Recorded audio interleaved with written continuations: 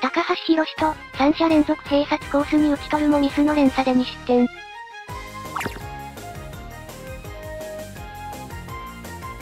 セカンドゴロ、併殺コースに打ち取るも、村松エラーでピンチ拡大。続けて、P ゴロ併殺コースに打ち取るも、さらに、ショート併殺コースに打ち取るも、ウイルスみたいに伝染してるやん。また中日が面白いことしてる。やりやがった。何やっとんねん。じゃあもう高橋の敵やん。高橋も高橋の敵で草。いやこれ3打席連続ゲッツーやんけ。中日を見ると心が安らぐわ。しゃあないから立浪はゴミ箱でも蹴っとけ。中日が面白いことするの連鎖で草。なお試合は中日が勝ってる模様。これに負ける楽天はら。これ高橋宏斗がボールにローション塗ってるだろ。